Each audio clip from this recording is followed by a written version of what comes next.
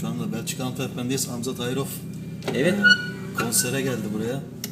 Kardeşim Ercan'a geldim. Öncelikle ona geldim. Sonra konsere gidiyoruz. Haberiniz olsun. Süpersin. Herkese Devam. selam bizden. Çok selam İnşallah herkese. akşama çok iyi güzel parçalar var, güzel köçekler var en yeni.